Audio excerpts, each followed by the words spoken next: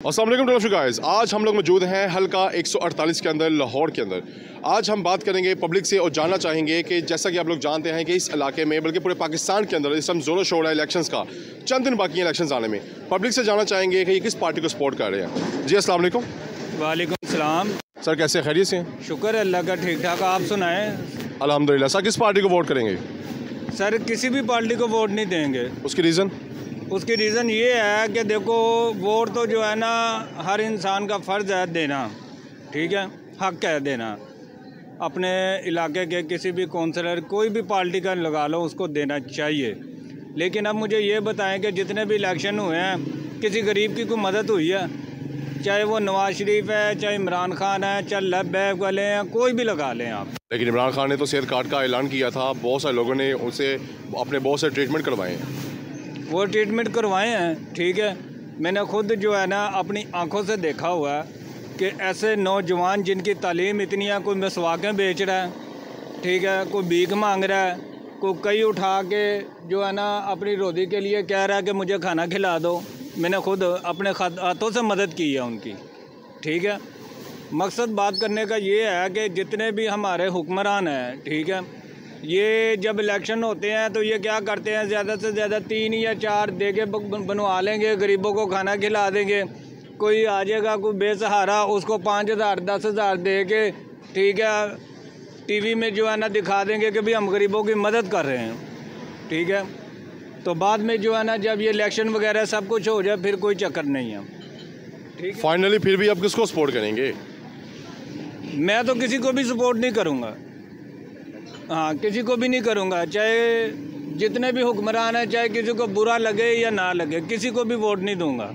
आप just imagine करें कि पब्लिक इस कदर तंग आ चुकी है इन लोगों से कि ये किसी भी पार्टी को वोट करने से ग्रेस कर रहे हैं। ये चाहते हैं कि हम किसी भी पार्टी को वोट ना दें बिल्कुल भी ना दें। जी। देखिए कितनी महँगाई हो गई। एक गरीब आदमी एक हज़ार रुपये दिहाड़ी लगाता है चाहे वो गदा रेडी चला रहा है चाहे वो पापड़ बेच रहा है। कोई भी मजदूरी लगा लो, एक हज़ार रुपया उसको मिलता है। छः सौ रुपये का किलो घी है, ठीक है? दो सौ पच्चीस रुपये का किलो आटा है। अब मुझे ये बताओ कि साढ़े सात सौ रुपया तो उसकी दो चीज़ों का हो गया, साढ़े आठ सौ। ठीक है? अब वो घर का किराया देगा या बिजली का बिल देगा या बच्चों को खिलाएगा? ऐसे हुक्मरानों का फ़ायदा क्या कि जिन्होंने महँगाई की तरफ़ तवज्जो नहीं देनी?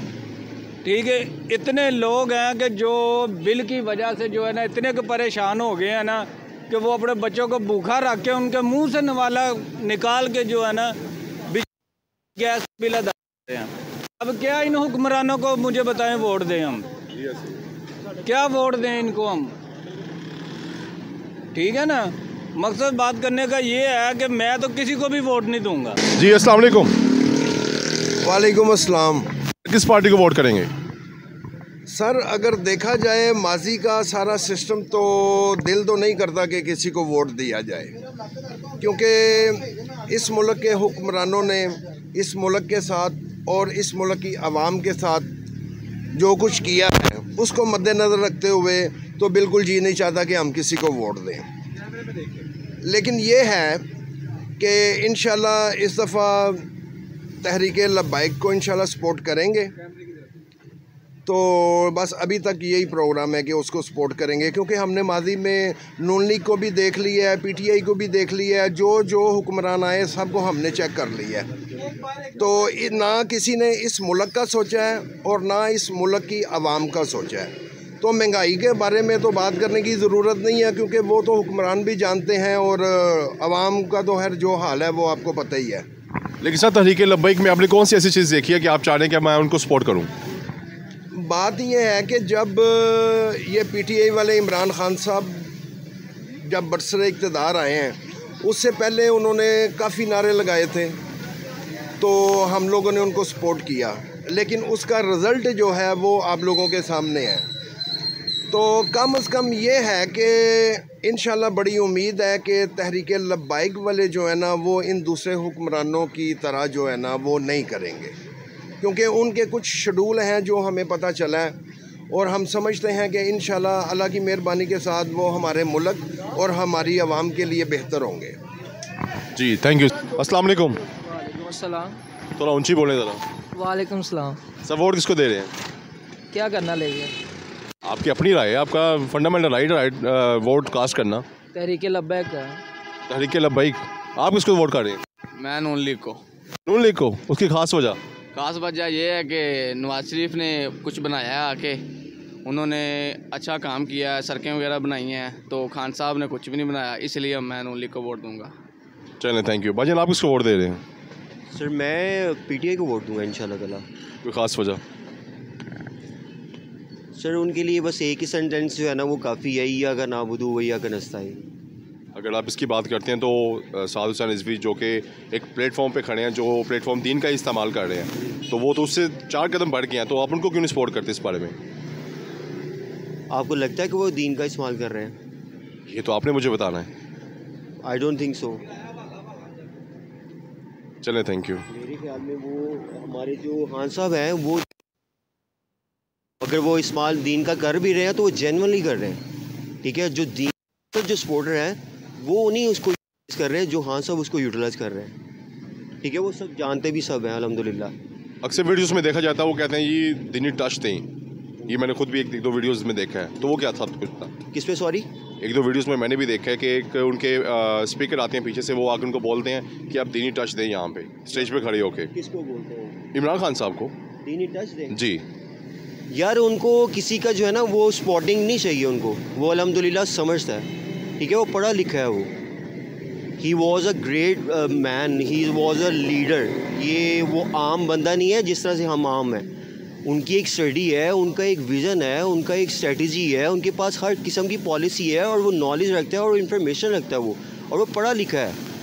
It's not a bad boy middle boy matric boy ठीक है, वो ग्रेजुएशन पर्सन है। उसको पता है कि यार कहाँ पे कौन सी प्रॉब्लम है और उसको हमने किस सेंस पे यूज़ करना है तो ये सारे मसले हल होने हैं।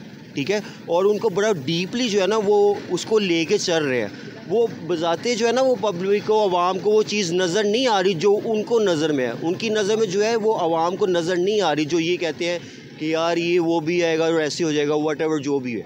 ठीक है? जो उनका विज़न है जो उनका स्टाइल है जो जो देखे ना हमारे हमारे किस किस दे रहे हैं? आपको पता है इस चीज़ का? आप बताएँ। ठीक है? यही टक्कर है ना। इस्लाम हमें क्या चीज़ सजेस्ट करता है? हमारा इस्लाम तो हमें ये सजेस्ट हक सच की बात के साथ कर रहे हो, ठीक है? यही हमारा ईमान होना चाहिए ना भैया। अगर ये हमारा ईमान नहीं है तो फिर हम, मेरा ख्याल से बात तो फिर कोई भी नहीं रहेगी। और इस टाइम पे जो सिचुएशन चल रही है ना, ये ईमान की ही सिचुएशन चल रही है कि यार जो हक सच पे है ना, उसने किसका साथ देना और उसको समझ है ना तो वो फिर अल्हम्दुलिल्लाह पीटीआई के साथ ही देगा। ठीक है? उसको और किसी के साथ की ज़रूरत नहीं है, क्योंकि उन्होंने चार चार पाँच पाँच दस दस बीस बीस पंद्रह पंद्रह सारी सारी ज़िंदगी जो है ना, उन्होंने ये सारी वही स्ट्रेटजी पुरानी चल रही है और वही स्टाइल चल रहा है। ठीक है? अब दौर है सोशल मीडिया का। अब सारी आवाम समझती है। जो हमारा माशाल्लाह खान साहब ने जिनको अप्रोच किया ना, वो सारे पढ़े लिखे हमारे स्टूडेंट हमारी न्यू जनरेशन है। ठीक है? उनको, उनकी सोच जो है ना, उनको पता है, ठीक है? जिनको पता है, वो उनके साथ खड़े हैं। और जो खड़ा हुआ है, उसके साथ क्या हो रहा है? ये जुल्म ज़्यादा किस चीज़ की है? जो इतना जुल्म हो रहा है, या इतनी वो क्या, ये मैंने मतलब कि किस चीज़ पे वो, हर चीज़ पर जो है ना, वो बंद करते हैं, वो ब्लॉक किस चीज़ का कर रहे हैं? ये भी ब्लॉग ये भी ब्लॉग कोई नहीं निकले, कोई ऐसे नहीं करे, कोई अपने, हम अपने हक सच के लिए खड़े नहीं हो सकते। मेरे पहले ये बताएँ ना ज़रा आप। जी डेफिनेटली डेफिनेटली खड़े हो सकते हमें अपने हक सच के लिए खड़े होने का हमें जो है ना वो ज़रूरत होनी चाहिए और हमें ज़रूरत है भी। अगर सपोज़ मैं यहाँ पे कहता हूँ कि यार नहीं यार मैं मीडिया का सपोर्टर तो मुझे उठा के या मेरी फैमिली के साथ वो अगर ज़्यादती करते हैं तो उनको कौन पूछने वाला है? मुझे पहले ये बताएँ ना और ये ऐसा और है। ठीक है सब जानते हैं ऐसा और है। ठीक है हमारी अगर फैमिली है अगर हम पीटीआई का झंडा उठाते हैं और साथ में ये वो ऐलान करते हैं कि ईया का नाम नस्ताइन तो वो कहते हैं, यार, इसकी गर्दन उड़ा दो। तो भाईजान, ये बात इट्स मीन टू से कि बात अब हमारे ईमान पे आ चुकी है, ठीक है? अब जो है ना झोलने की ना ज़रूरत है कि यार आप सब मिल के ना, उसका साथ दो, जो यहाँ पे गरीब आवाम जो है ना, उनके साथ जो जुल्म व ज़्यादती हो रही है ना, वो जो है ना, वहाँ पे उसको पता है कि उसके साथ क्या क्या चल रहा है, उसके साथ क्या क्या चल रहा है। हमारी जो है ना, हमारी बहनों की, हमारी माओं की, हमारी बेटियों की किसी किस्म की कोई रिस्पेक्ट नहीं रही है। खवातीन की कितनी रिस्पेक्ट है, हमारे नबी पाक सल्लल्लाहु अलैहि वसल्लम ने औरत को कितनी रिस्पेक्ट दी है, आप समझते हैं कि उन्होंने अपनी बेटी, उनको उन्होंने किस मुकाम पे उन अदब करते थे, किस वजह से? ठीक है, क्योंकि वो एक औरत ज़ात है यार। ठीक है, आज हमारे ना बहनें सिक्योर हैं, ना माएँ सिक्योर हैं, ना बेटियाँ सिक्योर हैं और इवन दैट कि यहाँ तक अब नौबत आ चुकी है कि रोड में ऐसी ऐसी यानी कि हम चीज़ों को देखते हैं जिसको हम नज़रअंदाज करना भी चाहें तो हम नहीं कर पा रहे ठीक है? उस, उसमें हमें अपनी बेटी नज़र आती है, अपनी बहन नज़र आती है। क्या हो रहा है यार क्या हो क्या रहा है यहाँ? मुसलमान है। है? दूसरे मुल्कों में जो चीज़ पॉलिसी उनके तहत वो लेके चल रहे हैं। वहाँ पे तो नहीं इस तरह की हर्डल्स आ रही है। यहाँ पे इतनी हर्डल्स क्यों है? क्योंकि हम टोटली ऑपोजिट चल रहे हैं। हम नाम के मुसलमान हैं, ठीक है? लेकिन हमारा किरदार जो है ना, वो मुसलमानों वाला नहीं है, ठीक है? और उन्होंने जिसको अडॉप्ट किया हुआ है, आप देख रहे हैं, वो माशाल्लाह कहाँ पर पहुँच गए हैं, ठीक है? और हक सच वाला बंदा जो है ना, वो हमें उसको फांसी पर लटकाया ही जाए से चलता आ रहा है। ये निज़ाम चलता आ रहा है कि जिसने कहा ना, यार, मैं हक सच के साथ हूँ। तो भाईजान उसका एंड जो है ना, वो डेथ है, ठीक है? पीछे बहुत हिस्ट्री है। ये हमारे नबी अलैहि वसल्लम के दौर की ये हिस्ट्री चल रही है, जो पीछे उनको रहने के लिए नहीं कोई यहूदी नहीं था, कोई ईसाई नहीं था। कौन था? ठीक है, हमें हमें तालीम की कमी है यार। जो हमारी न्यूज़ तो इस सिचुएशन को बड़ी इजीली समझ रही है, जिसको हमने समझना बहुत मुश्किल हुआ हुआ कि यार ये कैसे होगा? यार ये कैसे होगा? उनको पता है यार कैसे होगा? ये सच के साथ का साथ देने से होगा, ठीक है? इस जुल्म के खिलाफ जो है ना आवाज़ उठाने से होगा ये जहाँ पे भी जो जो है हमारे साथ जो प्रॉब्लम चल रही हैं, हम अपने आप को लेके साथ साथ दूसरों को भी गाइड करें कि यार ये चीज़ ऐसी है और ये चीज़ ऐसे है। उसमें सबसे बड़ी बड़ी जो तालीम है वो हमारे कुरान पाक की तालीम है यार। हमें मिलजुल और बहुत सारी इसी सोच में क्यों रह गए हुए? हम शक हो गए इस सोच को लेके कि यार कब ठीक होगा, कब ठीक होगा, कब ऐसे ठीक नहीं होगा। ठीक के लिए हमें काम को लेके चलना पड़ेगा। हमें एक अच्छा कानून नाफिज करना पड़ेगा। किसी के साथ जो जाती होती है और उसके साथ क्या हो रहा है? एंड यही हो रहा है, उसमें माफिया है, उसमें हो गया, वो वो छोटे से लेके बड़े तक कोई सिस्टम चल रहा है। चलें आपने तो मेरे दिल में भी सख्ता पैदा कर दी है। Allah bless you always Allah ताला इस मुल्क के हालात बेहतर करे। बहुत शुक्रिया आपका। थैंक यू हमने हक सच का साथ देना है। दैट्स इट हक सच पे जिसको जो बेहतर लगता है जिसकी जितनी इन्फॉर्मेशन है उसी हिसाब से वो उसके साथ वोटिंग में है। That's it Allah bless you Allah thank you